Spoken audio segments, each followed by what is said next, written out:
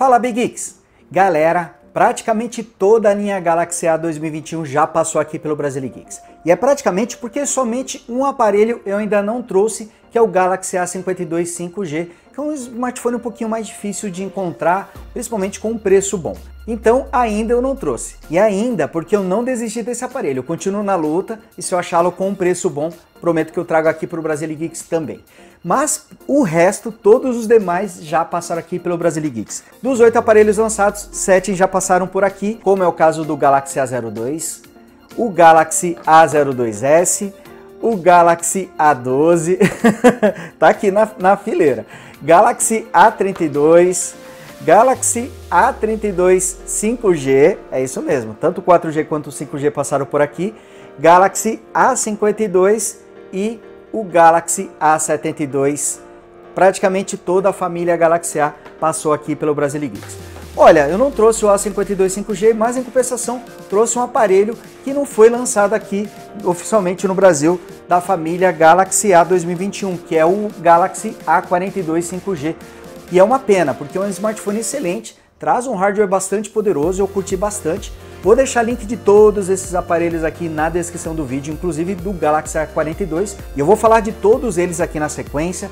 Vou fazer um resumão da família Galaxy A 2021 para vocês saberem o que cada um traz de bom, de ruim, quais as vantagens e desvantagens em optar por um ou outro aparelho. O vídeo vai ficar um pouquinho longo, mas eu vou dividi-lo em capítulos para poder facilitar, para você já ir direto no resumo do aparelho que você quer ou na faixa de aparelho que você pretende comprar. E os preços, inclusive, caíram bastante depois do lançamento. Hoje quase todos eles já estão com preços bem mais interessantes, com exceção do A52 5G, que é um pouco difícil de encontrar e está com preço um pouquinho fora da realidade. Nem sei se vale muito a pena você comprar hoje um aparelho da linha Galaxy A com suporte AZ de 5G, porque o preço ainda está um pouquinho salgado e eu vou falar de tudo isso nesse vídeo. Mas antes, só vou pedir para vocês deixarem o like aqui embaixo, porque o like é importante para ajudar o Brasil Geeks a continuar crescendo. E você que ainda não é inscrito, se inscreva, ative o sininho para receber as notificações dos novos vídeos e torne-se Big Geek você também. Eu vou falar pela ordem do mais barato ao mais caro, né, que tem menos recursos para os mais poderosos. Eu vou começar aqui pelo... Cadê ele? eu tô com tanto aparelho na mesa que fica até difícil. Tá aqui, ó, o Galaxy A02, que é o modelo mais simples da família Galaxy A 2021 e também o mais barato. Esse smartphone, para vocês terem ideia, é possível encontrá-lo abaixo dos 700 reais com muita facilidade. Eu consegui encontrá-lo atualmente por 670 reais. Mas o preço já chegou a ser ainda mais interessante. Esse aqui, por exemplo, eu comprei por 630 reais, um valor muito bom pelo que o aparelho oferece. Claro que você não pode esperar os recursos tops em um smartphone básico, como é o caso do Galaxy A02, mas nessa faixa de preço, custando aí 670 ou menos do que isso, pode ser uma opção interessante para quem quer um aparelho básico para tarefas mais simples. E mesmo sendo um aparelho básico, ele traz algumas coisas bem legais. Primeiro, a sua tela com resolução HD Plus tem uma qualidade bem legal, ângulos de visão muito bons. O acabamento é simples, mas é bom e ele ainda conta com uma bateria de 5.000 mAh. Então bateria não vai faltar aqui nesse aparelho. O Galaxy A02 não vem com o Android Go, ele vem com a versão tradicional do Android, mas temos aqui menos recursos do que a gente costuma encontrar nos smartphones tradicionais da Samsung, podemos dizer assim. Por exemplo, não temos aqui sensor digitais traseiro, nem reconhecimento facial, e o sistema perdeu alguns recursos, por exemplo, a câmera não traz suporte ao modo HDR, não tem modo retrato também, ela é bem simples, consegue filmar em Full HD a 30 quadros, tanto câmera frontal quanto câmera traseira, mas ela não tem muitos recursos, não tem modo noturno, e a qualidade das fotos e dos vídeos são bem simples. Se você fizer algum esforço, dá até para ter resultados bons em boas situações de luz, mas não use essas câmeras para locais pouco iluminados. E a tela tem 6,5 polegadas, apesar de ser um smartphone simples, tem um tamanho relativamente grande. O próximo da lista é o Galaxy A02s. Essa pequena letra já faz muita diferença em relação ao Galaxy A02 tradicional, trazendo um hardware mais robusto, mais memória RAM e principalmente câmeras melhores. O Galaxy A02s tem uma telona também de 6,7 polegadas. Visualmente, o Galaxy A02s já lembra mais os smartphones recentes da Samsung, tem um acabamento bem interessante, né, com esse grafismo aqui na parte traseira, mas o acabamento também é simples, com traseira e bordas em plástico. Aliás, toda a linha Galaxy A traz o acabamento em plástico, tanto a tampa traseira quanto as bordas, em todos eles são feitas em plástico. Quanto à tela, continuamos aqui com a resolução HD Plus e 6,5 polegadas e temos aqui uma tela LCD com painel PLS, assim como acontece com o Galaxy A02. É uma tela com uma qualidade muito boa, apesar desse aparelho também ser um smartphone relativamente simples. E ele pode ser encontrado também com um preço muito bom, abaixo até dos 800 reais. Atualmente até consegui encontrar o Galaxy A02s por 765 reais, bom preço pelo conjunto que esse smartphone possui.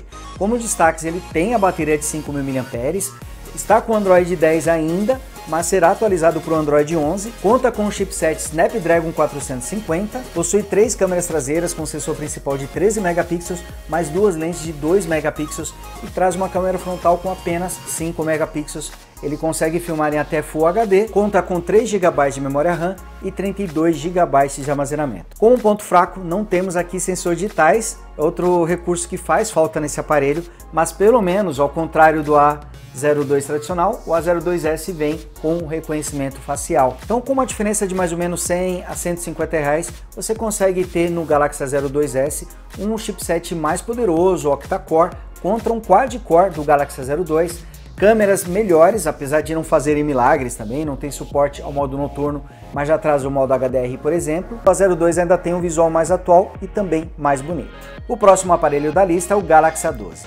E dos aparelhos mais em conta, esse aqui é o primeiro da família Galaxy A a trazer os sensores digitais, que fica aqui na lateral do aparelho. Ele também conta com uma tela LCD PLS de 6,5 polegadas com resolução HD+. Olha, não sei se é a mesma tela dos demais aparelhos, mas em características técnicas são semelhantes, trazendo resolução HD+, proporção de 20 por 9 e painel LCD PLS. Ele também conta com uma bateria de 5.000 mAh e o acabamento dele é um pouquinho mais diferente em relação aos demais e lembra um pouquinho o Galaxy A42, olha só, eles realmente têm um visual bastante próximo. Temos o reconhecimento facial e também os sensores digitais aqui no Galaxy A12. Ele vem equipado com o chipset Helio P35, já com uma maior potência em relação ao Snapdragon 450 do Galaxy A02s e também traz mais armazenamento e mais memória RAM. Aqui são 4 GB de RAM e 64 GB de armazenamento. Ele ainda está com o Android 10, mas também será atualizado para o Android 11 para a interface One UI 3.1. Esse aparelho ainda conta com quatro câmeras traseiras e destaque o sensor principal de 48 megapixels com abertura de 2.0 e a câmera frontal tem 8 megapixels. Além da câmera principal temos a lente ultra wide de 5 megapixels e mais duas lentes de 2 megapixels, uma para o modo macro e outra para detecção de profundidade. Todas elas conseguem filmar em até Full HD a 30 quadros por segundo. O Galaxy A12 já traz mais recursos, mas é um aparelho já com preço mais salgado. Ele pode ser encontrado ali na faixa dos mil, mil cinquenta até mil e cem reais. Em compensação, você tem câmera melhor, você tem mais espaço de armazenamento, mais memória RAM e também uma performance superior aos outros três aparelhos que eu citei aqui nesse vídeo. Mas olha, é a partir daqui que a coisa começa a ficar realmente interessante com o Galaxy A32 e o Galaxy A32 5G. Começando pelo Galaxy A32, que em vários pontos é até melhor do que o A32 5G. Tem vídeo somente para falar sobre isso, vou deixar link na descrição. Mas o Galaxy A32 na versão 4G traz algumas características bem legais, como uma tela Super AMOLED com resolução Full HD Plus de 6,4 polegadas, traz o chipset Helio G80, 4 GB de RAM e 128 GB de armazenamento. Também conta com uma bateria de 5.000 mAh aqui e ainda traz quatro câmeras traseiras com sensor principal de 64 megapixels, mais lente ultra-wide de 8 megapixels e duas lentes de 5 megapixels, uma para macro e outra para detecção de profundidade. A câmera frontal tem 20 megapixels e tanto câmera frontal quanto câmera traseira suportam o modo noturno. Eles conseguem filmar em até Full HD. O Galaxy A32 já vem de fábrica com o Android 11 e com a interface One UI 3.1 Traz aqui os sensores digitais na tela, além do reconhecimento facial, e é um aparelho que manda muito bem, tem um bom equilíbrio e um preço também bastante interessante para sua faixa de preço. Você pode encontrá-lo por mais ou menos R$ 1.400 e por esse valor ele oferece um ótimo conjunto com uma performance legal, câmeras muito boas, com suporte ao modo noturno, modo retrato. E detalhe, ele também tem um acabamento muito bonito, que lembra inclusive o A52 e o A72, um aparelho com visual bastante atualizado. Mas você também pode optar pela versão 5G do Galaxy A32, que apesar de ter esse nome A32 5G, ele é praticamente outro aparelho, ele é bem diferente do A32 tradicional inclusive perdendo algumas especificações. Por exemplo, o Galaxy A32 5G tem uma tela LCD com painel PLS de 6,5 polegadas com resolução HD+, ou seja, a tela é LCD e não AMOLED como no Galaxy A32 4G, tem um tamanho um pouquinho maior, 6,5 contra 6,4 polegadas, mas a resolução é apenas HD e não Full HD aqui, como acontece com a 32 4G. Ele traz um ótimo conjunto de câmeras, quase idêntico ao A32 4G, mas a lente principal tem 48 megapixels contra 64 da versão 4G, o que faz com que o A32 5G seja muito estranho quando comparado com a versão 4G, que acaba trazendo algumas características melhores. Mas não duvidem, o A32 5G consegue ter um desempenho bem melhor por causa do seu chipset, o Dimensity 720 5G, que tem uma performance superior ao Helio G80 aqui do A32 4G. E ele conta com os mesmos 4 GB de RAM e 128 GB de armazenamento. Os dois também contam com bateria de 5.000 mAh.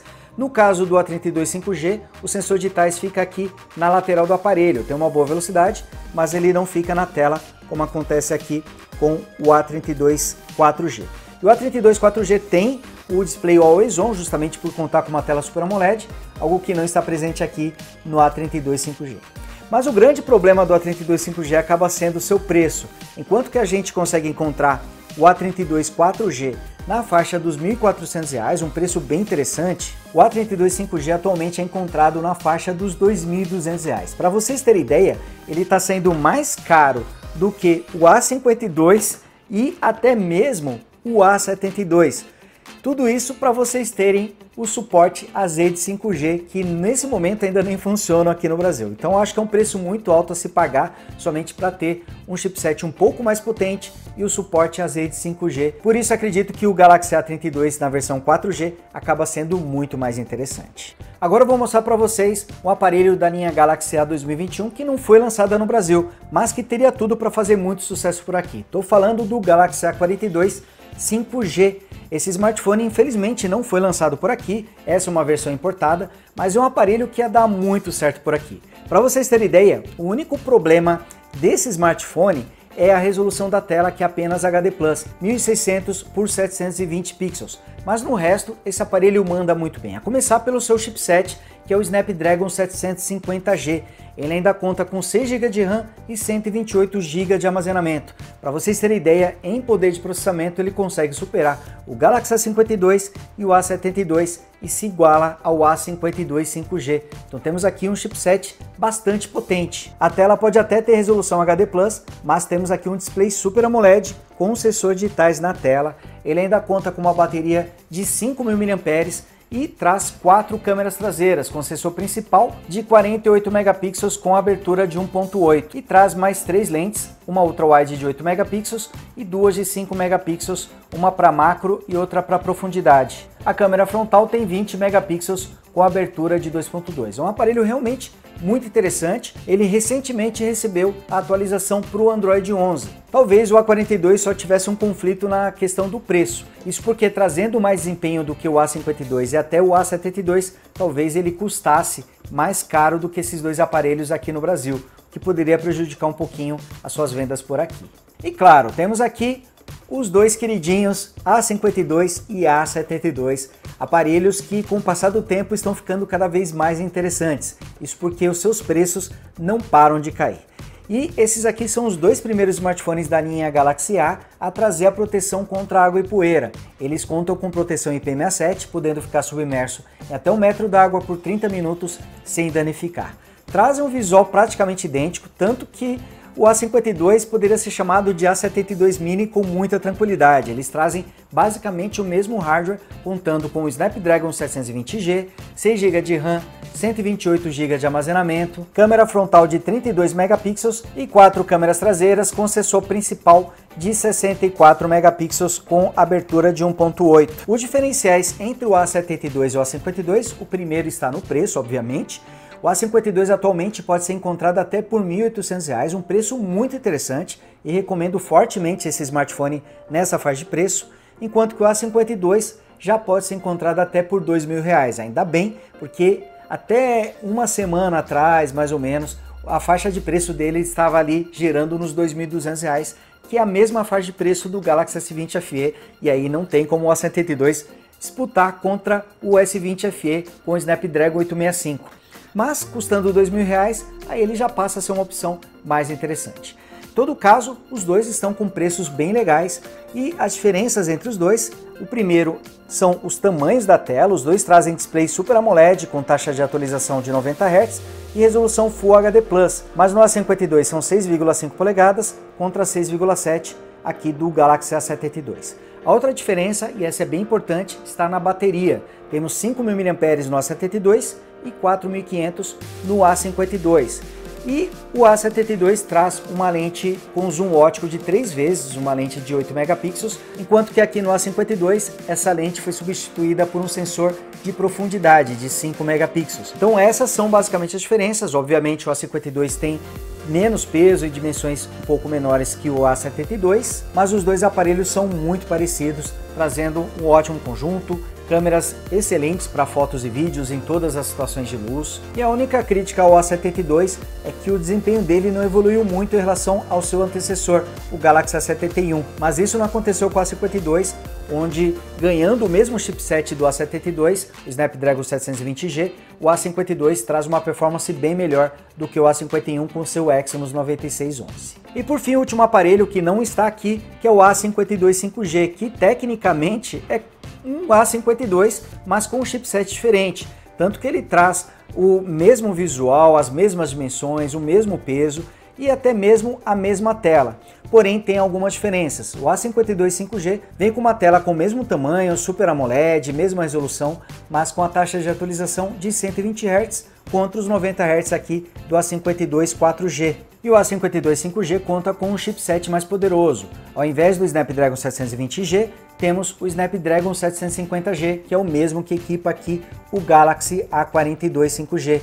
Então pode esperar no A52 5G uma performance superior ao A52 e até mesmo ao A72. É por isso que esse smartphone custa mais caro do que esses dois aqui. Enquanto que o A52 e o A72 têm um preço muito legal, bem interessante, o A52 5G, só por suportar as redes 5G e trazer um chipset mais poderoso, custa bem mais caro. Ele é encontrado atualmente na faixa dos R$ 2.800, ou seja, R$ 800 mais caro do que o A72 e R$ 1.000 mais caro do que o A52 na versão 4G. Ou seja, eu acredito que não vale muito a pena, principalmente na situação atual onde a gente ainda não tem um acesso natural às redes 5G. É, já existe o 5G, mas de uma forma bem limitada, e o 5G para valer mesmo ainda está longe de ser implantado aqui no Brasil. Então, por causa dessa diferença de preços, eu acredito que nem vale muito a pena. Nem tanto o A52 5G quanto o A52 5G, nenhum dos dois vale a pena ainda comprar nesse momento com esses preços tão altos. Então é isso, galera. Esse vídeo deve ter ficado enorme,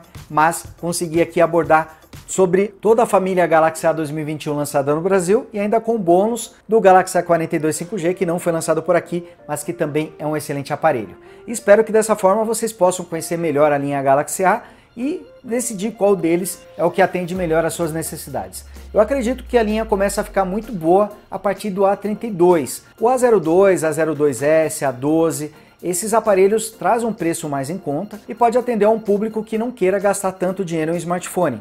Mas o A32 é um aparelho que já tem um preço legal e traz muitos recursos e pode já ser uma opção interessante para muita gente, mas o custo-benefício dessa linha eu acho que atualmente é o Galaxy A52, que está com preço muito legal, é praticamente um A72 mini e atualmente aí na faixa dos R$ 1.800 está ali brigando de frente com o Galaxy M31, por exemplo, mas o A52 é um aparelho mais atual e também traz aí um excelente conjunto de câmeras. Então hoje acho que o A52 é o aparelho custo-benefício da linha Galaxy A. Então é isso, galera. Vou ficando por aqui. Deixa like no vídeo. Você que ainda não é inscrito, se inscreva e torne-se Big Geek você também. Grande abraço e até o próximo vídeo. Fui!